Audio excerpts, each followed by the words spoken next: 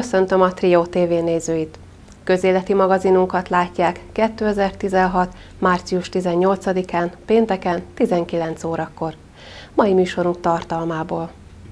Bükön a művelődési központban Csepregen az általános iskolában emlékeztek városi ünnepen az 1848-49-es forradalomra és szabadságharcra. Iskolai ünnepség Bükön. A kőszegi kampuszavaton díszdoktorra avatták Bogyai Katalin ENSZ nagykövetet. Éves közgyűlést tartottak a büki horgászok. Előadás a Büki Műszaki Klubban. Nőnapi buli Bükön. Ez a mai kínálatunk. Kedves nézőink, tartsanak velünk! Az 1848-49-es forradalom és szabadságharc Büki városi ünnepségére kedden délelőtre a Művelődési Központ színháztermébe várták a megemlékezőket. Ünnepi köszöntő, visszaemlékezés részletek és zenés műsor várta az ünneplőket. A Büki Városi március 15-i megemlékezésnek az eső miatt a Művelődési Ház színház terme adott otthont. A kokárdás ünneplőbe öltözött vendégek közösen elénekelték a himnuszt, majd Baranyai Róbert alpolgármester ünnepi beszéde következett. Mint minden mitosz, 1848-49 története is igaz és legendás elemekből áll. Ez a legendateremtés már a nagy év napjaiban megindult. Így született meg a Nemzeti Múzeum lépcsőjén álló, a Nemzeti Dalcímekről szavaló Petőfi mitosza is. Azt mondják, korunk embere nem a mesére kíváncsi, hanem arra, hogy mi igaz és mi nem. A tények érdeklik.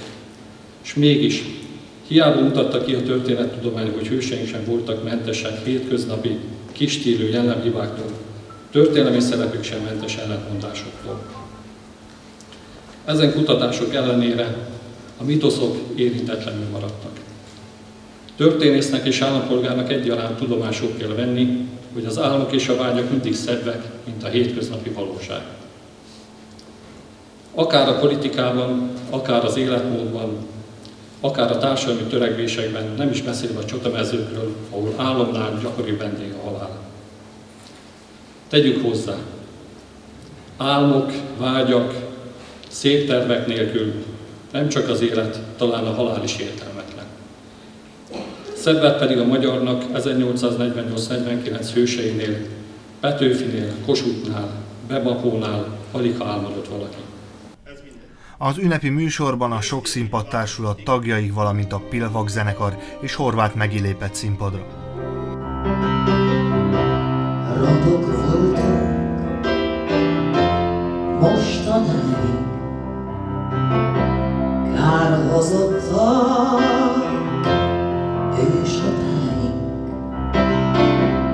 Sábado em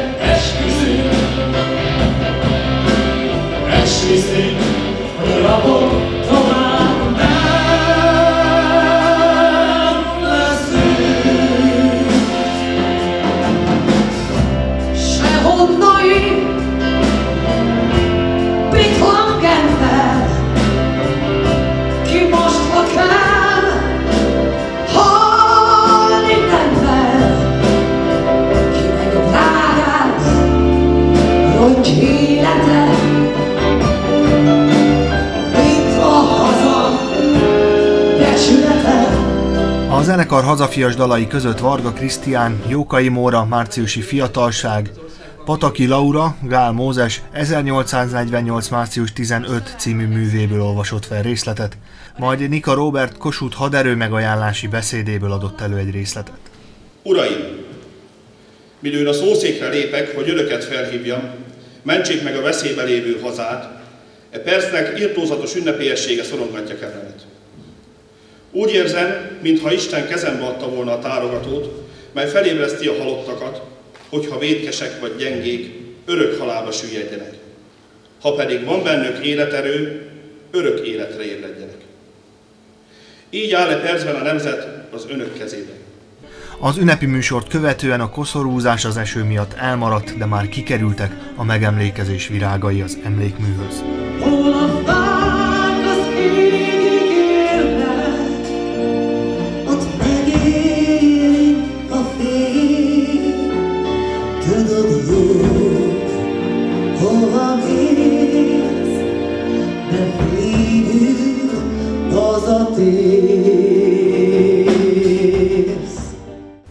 A Büki március 15-i városi ünnepségről készült felvételt közéleti magazinunkat követő Csepregi stúdióbeszélgetés után nézhetik meg, vagy megtalálják a www.triotvdunántúl.hu oldalon. Csepreg város önkormányzata együtt ünnepelte az 1848-49-es forradalmat és szabadságharcot a település iskolájával. A műsorban az iskola tanulói, tanárai és Csepreg város vegyes kara szerepelt. A Csepregi Horváth János általános iskola aulája volt az ünnepség színhelye. Az aula lépcsőin a Nemzeti Múzeumot jelképező lépcsősoron adták elő műsorukat. A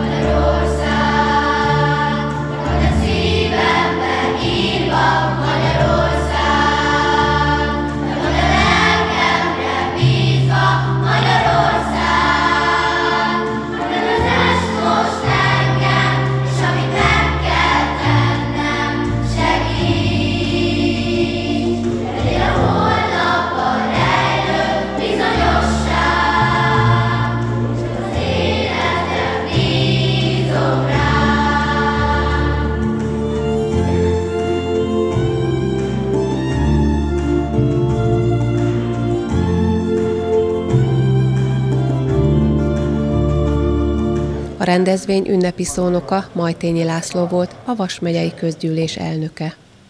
Hosszú folyamat vezetett 1848. március 15-éhez, és Európának és Közép-Európának nem minden nemzete volt olyan bátor, és nem minden nemzete volt olyan szerencsés, mondhatjuk így 168 év távlatából, mint mi magyarok. Bátrak voltak és fiatalok, és ugye ismerjük a mondást, hogy bátrak voltak, akik mertek. Egy olyan szerencsés pillanat van, amikor azt mondják, hogy az ember nem biztos, hogy gondolkodik, hanem megragadja a lehetőséget, cselekszik, összefog. És nem számít, hogy a korabeli Magyarország melyik osztályához tartozik, nézzük meg a, a márciusi ifjakat, hogy ki honnan volt. Nem számít, hogy nemes vagy polgár, nem számít, hogy kisnemes vagy gazdálkodó, hanem néhány óra alatt megélhették azt, hogy egységben forrt a nemzet. Ezek nagyon ritka és áldásos pillanatok, amikor egy ilyen dolog kialakul és létrejöhet, és ez az 1848-as március 15-e, ez egy ilyen pillanat volt, amelyben óriási energia volt, óriási lendület volt, és óriási sodrás volt. Most nem mennék el aztán a szabadságharcig és a szabadságharc bukásáig, de ezek azok a, a kivételes folyamatok. Volt nekem egy, egy barátom, aki tanult egyébként történelmet is, és egyszer kérdezték tőle, hogy mi az, hogy forradalom, és valahogy úgy próbálta esetleg megfogalmazni, hogy a forradalomnak nincs esze, csak szíve van. És ez az a lendület, amit ösztönösen ő megérzett és megfogalmazott, hogy ott bizony nem gondolkodnak az emberek, nem gondolkodtak azon, hogy van-e veszteni valami, mi lesz, ha nem sikerül, mi lesz vele, mi lesz a családjával, hanem úgy érezték, hogy ki kell nyom, megírni, kinyomtatni, nemzeti dal, a Petőfi versét, a 12 pontot, és ezek az emberek, akik között volt Petrovics, volt Landeler, volt Heken, azt is folytathatnánk, létrehozták a magyar történelem, most már tudjuk, hogy egyik legszebb, legfényesebb és legboldogabb pillanatát és napját.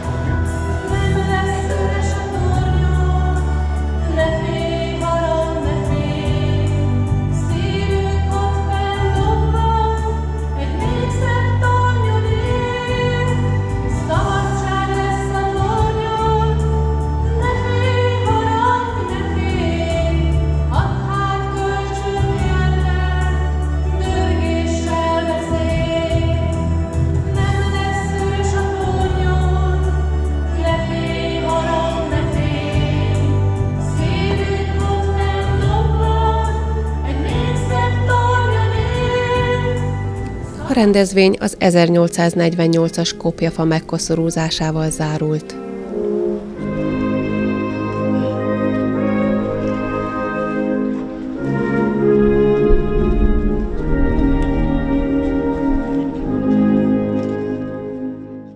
Ez itt az Én Hazám címmel emlékeztek a Felsőbüki Nagypál Általános Iskola és Szakiskola diákjai az 1848-as forradalomra. Ezt a földet választottam, ezt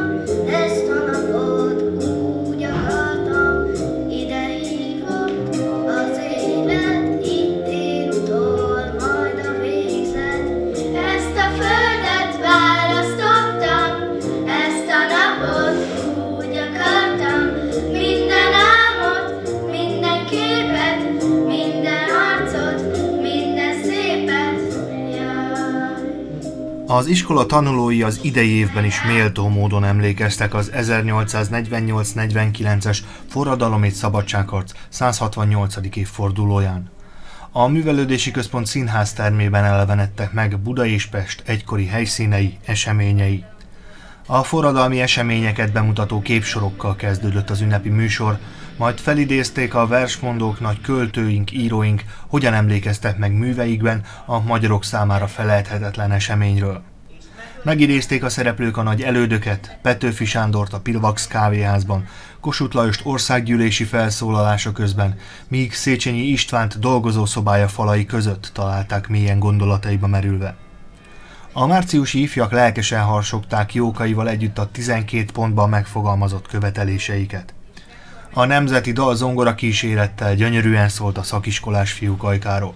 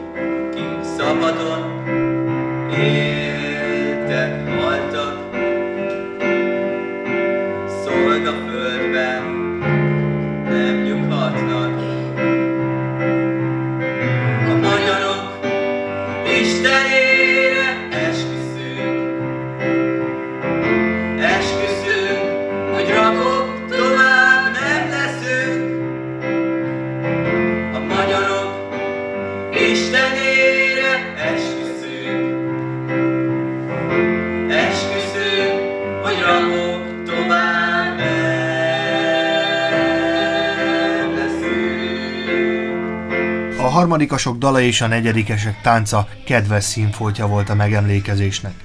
A rögtönzött nemzeti színházi előadást követően pedig hazánkat leginkább jellemző képek villantak fel a Hortobágytól Budapesten át Bükig. Az ünnepi műsor zárásaként lelkesen zengett Kossuth toborzónótája. Szabadság,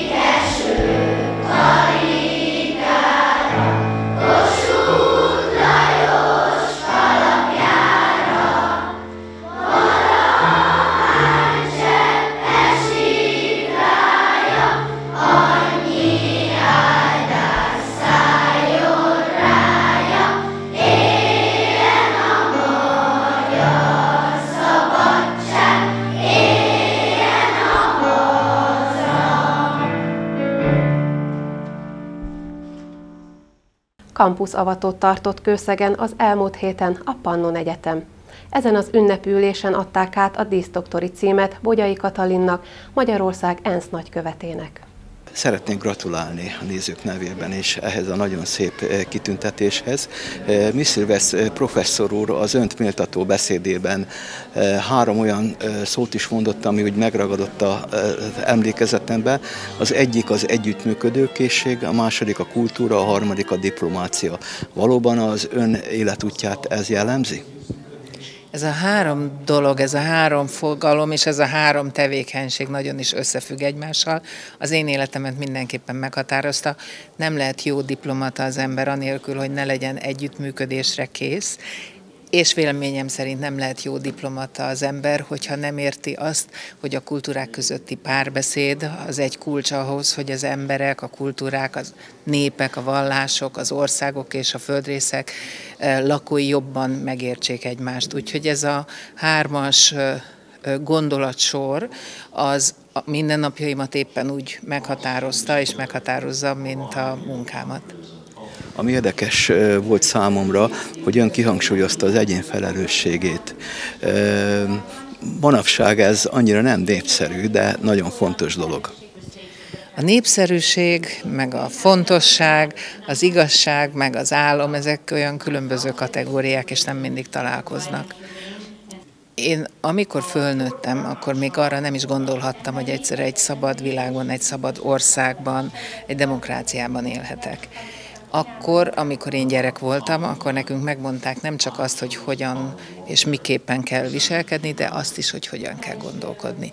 És amikor 1990 után egy új lehetőséget kaptunk az életben, akkor vált igazából ö, valósággá, hogy a demokrácia az egy nagyon nehéz műfaj, mert ott minden embernek a döntéseiért a felelősséget vállalni kell. És hogyha mindenki ezt a saját felelősségérzetet kialakítja magában és komolyan veszi, akkor valóban sokkal felelősség teljesebben éli az életét, és nem mindig másokra mutogat, hogyha például valamiben sikertelen, vagy valami nem úgy történik, ahogy elképzeli, hanem először meggondolja, megkérdezi saját magát, hogy mi az, amit én tettem, mi az, amit én jól tettem, mi az, amit rosszul tettem, és utána lehet ebben a körben kijebb és kijebb lépni. Felelősség teljes élet, az azt gondolom egyébként, hogy a polgári szellemi szabadság, a demokrácia, mint életforma egyik meghatározó jellemzője, és mindenkinek meg kell tanulnia ezzel élni, és mindenkinek úgy kell cselekednie, hogy tudja vállalni a felelősséget a saját tetteiért. Ez a felelősségteljes magatartás az UNESCO-ban, illetve ENSZ nagykövetként Magyarország presztízsét hogyan miképp tudja növelni? Az UNESCO-ban több mint öt évet voltam nagykövet, és ebből a legnagyobb presztízsel rendelkező pozíció a közgyűlés elnöksége, amelyre a 193 tagország egyhangúan választott meg, azt gondolom, hogy bizonyos értelemben válasz a kérdésére. Én az elnökségemben megfogadtam az egyik nagyon kedves kollégámnak, az indiai nagykövetnek a javaslatát, aki azt mondta, hogy legyél le legyél te a lelke és a szíve ennek a szervezetnek.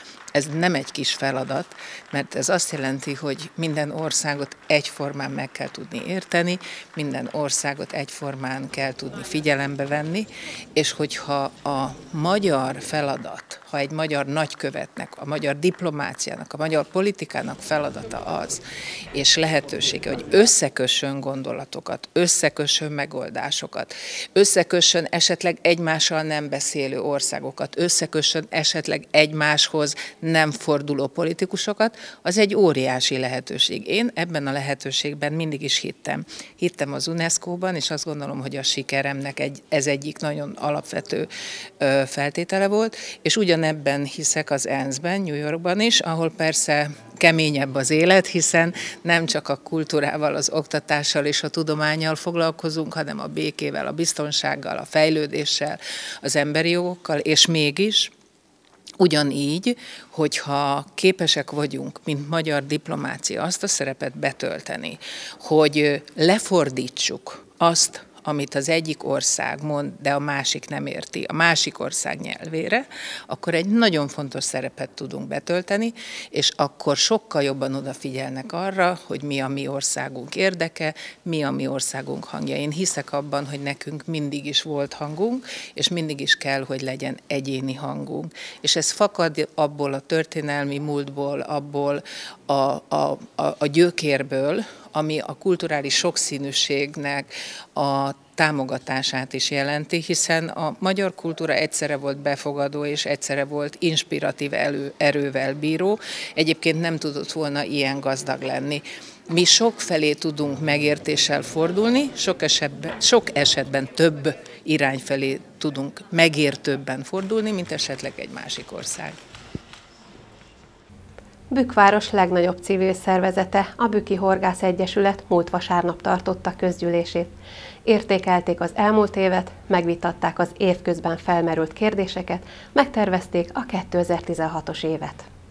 Az egyesületi törvény szerint legalább egy alkalommal minden egyesületnek egy rendes közgyűlést kell tartani.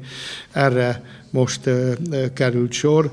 Március elején mindig egy vasárnapi napot szánunk, főleg délelőtti órákban.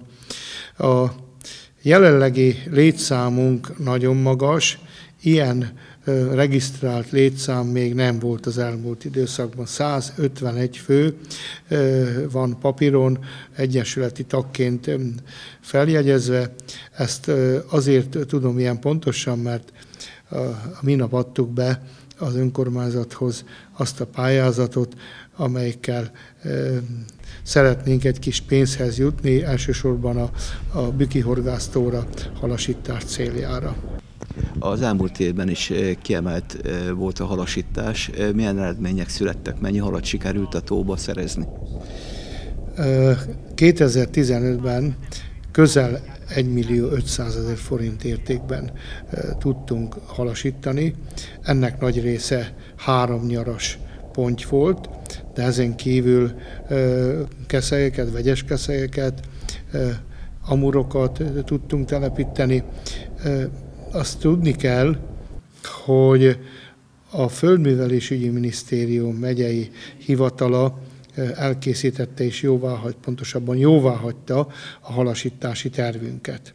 Ezt ugye halgazdálkodási tervnek szoktuk nevezni, de általában halasításról szól, illetve a környezetvédelemről. Ezt az elmúlt évben jóvá hagyták, és ez azt jelenti, hogy meghatározták, hogy egy adott évben milyen mennyiségű és milyen fajtájú halakat kell telepíteni.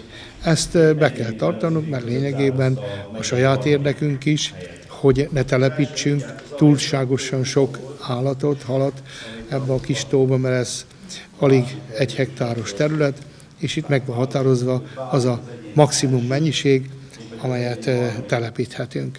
De hát az idei évben is körülbelül ennyit szánunk, egy másfél millió forint értékben szeretnénk, ha minden bevételünk be fog folyni, és ennek a nagy része szintén két-három, vagy még annál is komolyabb halmennyiség lesz, pontosabban pontyból. De szeretnénk kisebb mennyiségben vegyes keszeget is, illetve amurokat. Szó volt a társadalmi munkáról, és aki a tó környékén járt mostanában, az láthatja, hogy nagyon szép a tó környéken. Mennyi munkát jelentett ez? A mostani közgyűlésen is megköszöntem a tagjainknak az önzetlen segítő közreműködését annak érdekében, hogy ezt az önkormányzat által, eh, részünkre átadott eh, tavat és környékét gondozzuk. Ez azt jelenti, hogy eh, február végétől egészen november végéig, a rossz idő beálltáig szinte két havonta szervezünk társadalmi munkát, és 30-40 ember részt vesz. Ezen hát elsősorban a fiatalokról van szó. Nagyon örülök annak, hogy a legutóbbi társadalmi munka során tényleg egy olyan környezetet tudunk teremteni, tudtunk teremteni, nem csak a horgászainknak, hanem az ide látogató vendégeknek, külföldieknek is. Az Egyesület nagy gondot fordít az utánpótlás nevelésre, a gyerekekkel való foglalkozásra. E, Itt a közülésen e, külön téma volt ez. Igen, nagyon örültem annak, hogy az elmúlt években, most már második éven, négy-öt olyan 14 éven aluli fiatal ö, horgászként ö, van regisztrálva Egyesületünknél, akik nem csak elméleti, hanem gyakorlati versenyeken is részt vesznek, sőt, nem csak a saját horgásztáborunkban ö, vesznek részt, hanem Vaskeresztesen, illetve a Fonyódi táborban is ö, aktívan részt vesznek. Ezek a fiatalok most is itt voltak a közgyűlésen, bár egy ö, személy hiányzott, de egy hónapon belül lesznek szintén elméleti ö, versenyek, és utána pedig gyakorlati. Tehát horgászni fognak, versenyhorgászni fognak, valószínű a, a Vaskeresztesi horgásztavon. Annak nagyon örülünk, hogy a négy fiatal srácon kívül még vannak jelentkezők, tehát számítottunk arra, hogy 14 éven alulők is még fognak jönni. Most már lassan 10-12 olyan kis fiatalunk van, akik általános iskolások, és ö, annak meg még jobban örültünk, hogy tavaly, amikor a horgásztábort megszerveztük, nem csak bükiek jelentkeztek, hanem csepregélyek, szeko- szakonyiak. Tehát a környezetünkből is ö, látják azt, hogy ö, érdemes ide eljönni, mert kulturált környezetbe tudnak a gyerekek nem csak pecázni, hanem szórakozni is, mert lényegében erről szól az a három-négy napos horgásztábor. Nádor István, a Vas megyei mérnöki kamara elnökének előadására invitálta a Városháza nagytermébe az érdeklődőket a Büki Műszaki Klub március 10-én.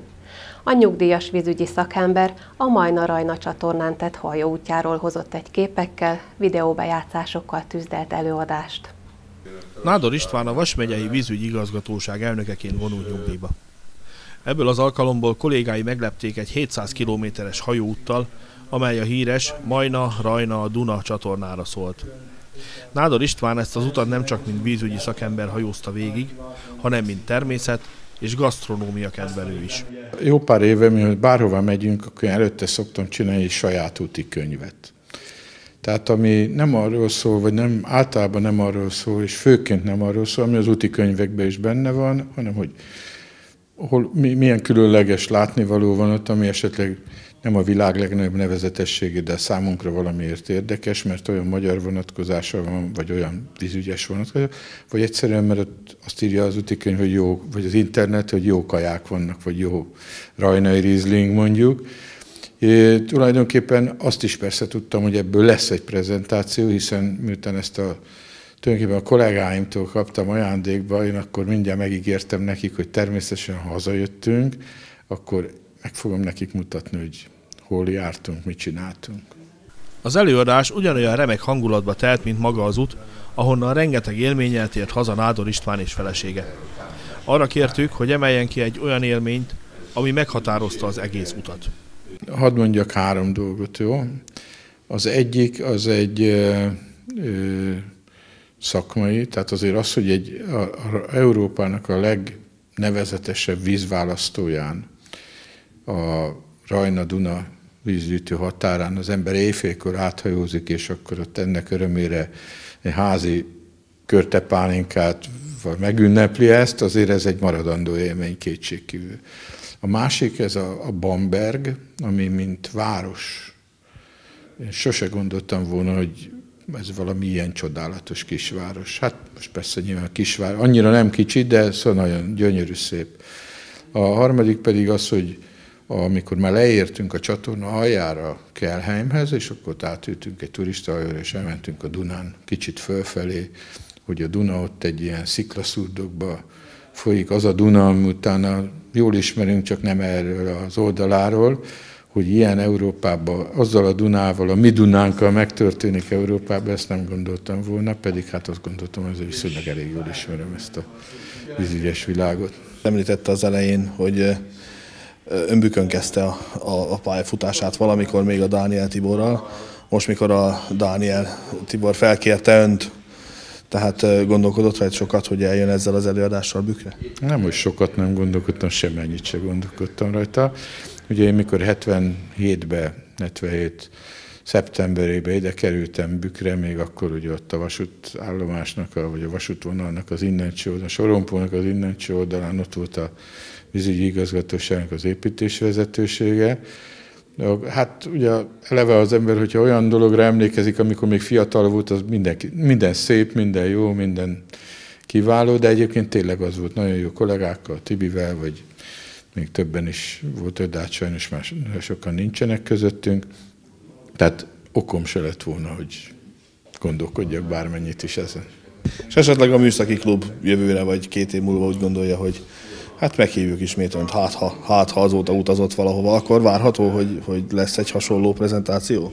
Hát nagyon szívesen persze, hát a, nem rajtam fog múlani, tehát hogyha hívnak, én jövök, és azt gondolom, hogy van egy csomó olyan dolog, ami, ami érdekes. Tehát a, különben is azt szoktam mondani, hogy nekünk vízügyeseknek baromi szerencsénk van. Mi a munkánkkal a víz mellett lehetünk, más meg fizet érte, hogy a víz mellé menjen. Úgyhogy én szívesen megosztom bármikor, nem is akár egy-két év, vagy jövő héten is, hogyha hívnak. Nőnapi buli nem csak nőknek, hirdette a plakát. Március 11-én a Büki Művelődési Központban szórakozhattak a hölgyek. Batyusbál, koktélpult, családias hangulat. Nagy volt az érdeklődés a hölgyek körében, de volt néhány úr is az estén, aki elkísérte párját, hogy együtt szórakozzanak. Este nyolckor volt a kapunyitás.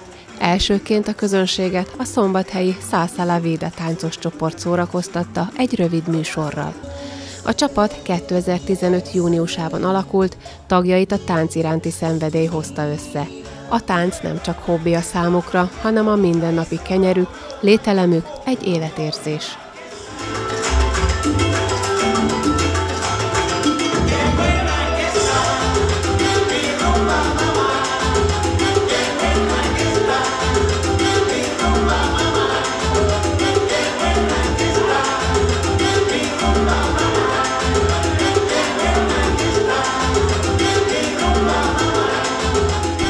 Nemzetközi Nőnap a nők iránti tisztelet és megbecsülés kifejezésének napja, amelyet 1917 óta, Magyarországon 1948 óta minden év március 8-án tartanak.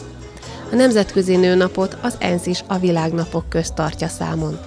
A nőnap eredetileg a mai virágos, kedveskedős megemlékezéssel szemben munkásmozgalmi eredetű, harcos, a nők egyenjogúságával és szabad munkavállalásával kapcsolatos demonstratív nap volt. Az első március 8-hoz kötődő esemény 1857-ben történt, amikor március 8-án emberibb munkafeltételeket és magasabb fizetést követelő textilipari nődolgozók tüntettek New York utcáin. 1909-ben az Egyesült Államokban tartották meg az első nemzeti nőnapot február utolsó vasárnapjára, 28-ára igazítva. Magyarország a nőnapi felhíváshoz először 1913-ban csatlakozott, amikor az Országos Nőszervező Bizottság röplapokat osztott. A következő évben, 1914-ben már országszerte rendezvényeket szerveztek. A rákosi korszakban a nőnap ünneplése kötelezővé vált, és az eredetileg különböző időpontokban rendezett nőnapot 1948-tól szovjet mintára március 8-án tartották meg. A rendszerváltás után a nőnap Magyarországon is elvesztette eredeti munkásmozgalmi hangulatát, helyette a virágajándékozás dominál. A műsor után a közönség vette birtokba a táncteret. A nem csak nőknek szóló buli éjszakában nyúlóan folytatódott. Az idei volt az első nőnapi buli, amit a Büki Művelődési Központ rendezett.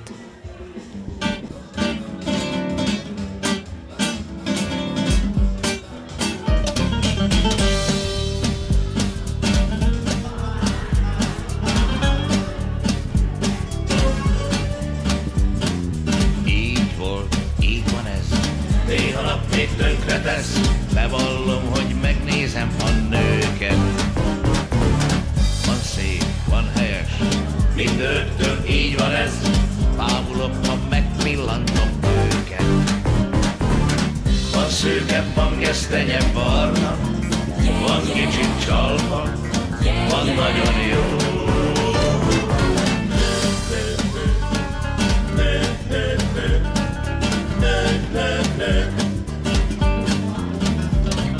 Így volt, ez is van, megmaradtam boldogan, mintha most már nem mind rólam szólna.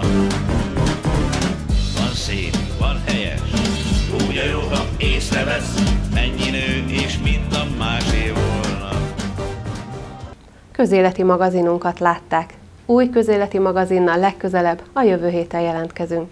Kedves nézőink, műsorunkat megnézhetik interneten is a www.triotvdunántúl.hu oldalon. Keressenek minket Facebookon is. Köszönöm megtisztelő figyelmüket, viszontlátásra!